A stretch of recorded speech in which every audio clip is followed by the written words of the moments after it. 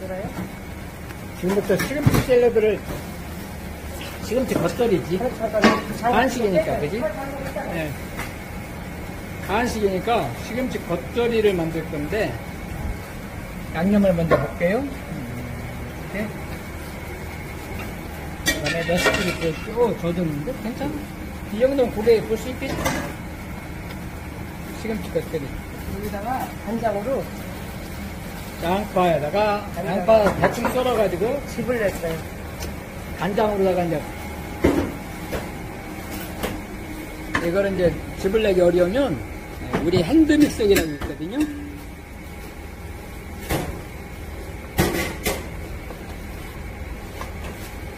핸드믹서기로 갈아버리고 일이 빨리.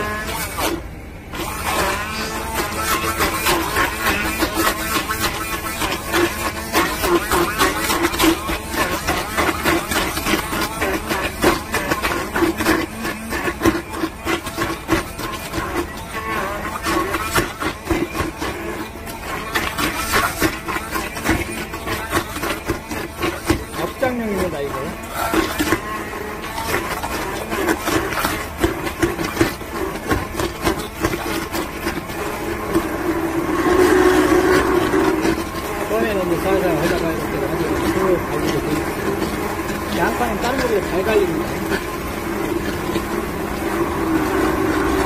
이렇게 이제 갈면 되고 다시 레시피를 보는데 요거는 이제 우리가 가정에서 쉽게 할 수 있는 거고 어, 그거를 이용해서 이제 현장용도 같이 곁들여서 지금 보여주고 있는 거죠. 다시 보면 알겠지만 간장, 고춧가루, 참깨, 액젓, 설탕, 마늘, 대파 다진 거. 다시 레시피를 이제 보면 가정용을 다시 한번 보겠습니다.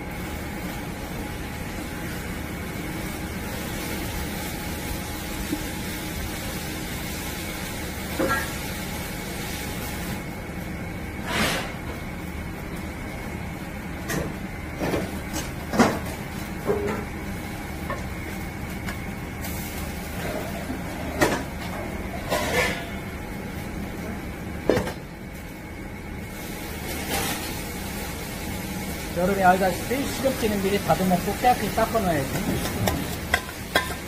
양파 가는 거, 간장을 약간 넣어가지고 하는 거지. 왜? 물기가 있어야 잘 갈리니까. 어차피 간장 넣을 거니까. 여기다가 고춧가루.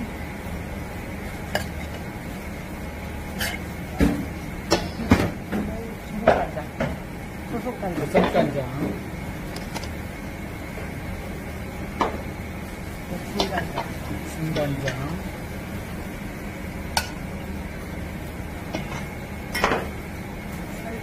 설탕.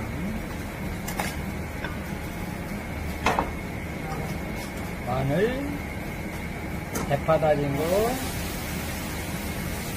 이렇게 해서 요거를 잘 섞어주는 게 중요하죠.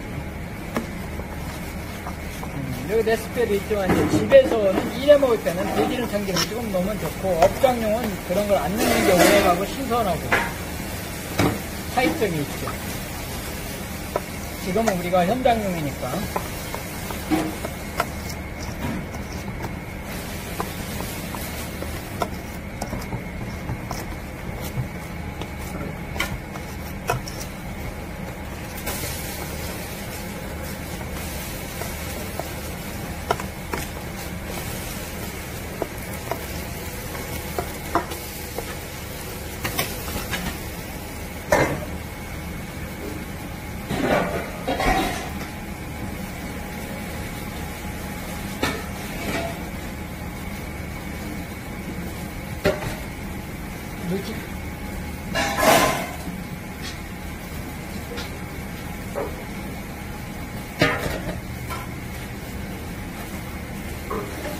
시금치를 이렇게 넣고서 다듬어갖고 이제 다 깨끗이 씻어야 특히 생으로 먹는 거니까 겉절이니까. 깨끗이 닦는 게 매우 중요하지. 이렇게 중간중간 넣으면서 양념을 중간중간 넣으면서 사이사이 이렇게 터는 식으로 해서 묻혀야지. 이걸 박박 묻히면 다 익거리거든요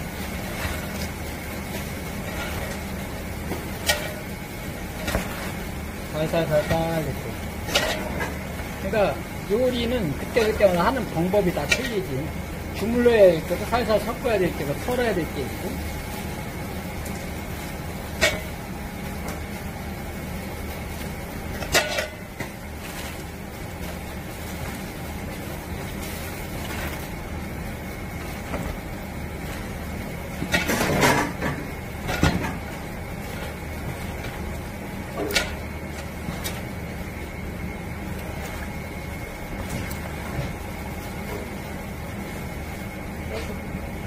이제 깨소금 마지막에. 이 현장용입니다.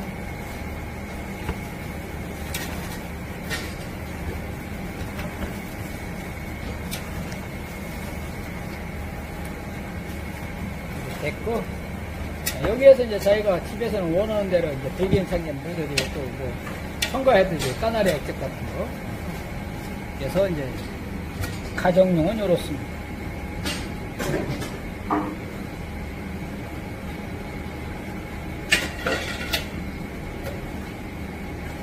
오늘은 건강에 좋은 시금치 겉절이 만드는 방법이었습니다.